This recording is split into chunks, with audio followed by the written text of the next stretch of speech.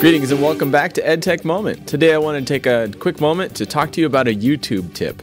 I learned this just the other day. We're always trying to find ways to get content from YouTube into our classroom, and so many districts like to filter YouTube on the web. Here's a trick that works in my district. Hopefully it works for you too. If you have the YouTube app on your iPad or other iOS or mobile device, then oftentimes that's accessing a different server uh, than the web interface is, is accessing. So districts might be able to filter the web interface, but not filter the YouTube app. And I found out this is true in our district. So if you want to show a YouTube video, for example, Khan Academy or any other kind of tutorial video that you want to show to give some context or some background information for your class, launch the YouTube app on your iPad. You can go ahead and search whatever content you want. And I'm going to go ahead and open up this basic multiplication video here. And you can see that it starts playing.